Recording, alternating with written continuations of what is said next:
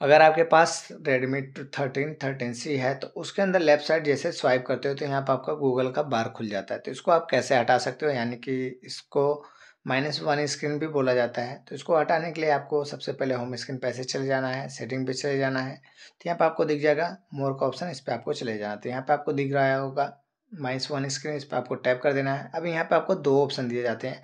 अगर आप गूगल पे करते हैं तो गूगल वाले पे करेंगे तो अब क्या होगा, जब भी आप लेफ़्ट साइड स्वाइप करेंगे तो यहाँ पे आपको गूगल के थ्रू जो भी नोटिफिकेशन आएगा, यहाँ पे आपका शो करने लगता है। बाकी वोल्ट का करेंगे तो वोल्ट का तो पहले था ही तो आपने देखा होगा। तो यहाँ से आप कर लीजिएगा, बाकी इन दोनों को आपको हटाना है तो वापस से जाना है यहाँ पे, इस पर चले जाना है तो कुछ इस तरह से आएगा, फिर से वापस से जाकर नन पे कर देना। नन पे कर देंगे, अब कितना भी लेफ़्ट साइड ऐसे स्वाइप करते रहें तो यहाँ पे आपका शो नहीं करेगा। बाकी आपको लगाना होगा तो उसी जगह से आपको दोनों जो ऑप्शन में से एक चूज़ कर लेना होता तो अगर वीडियो अच्छी लगेगी तो लाइक, शेयर, सब्सक्राइब कीजिएगा। मिलते हैं नेक्स्ट वीडियो में, तब तक के लिए बाय बाय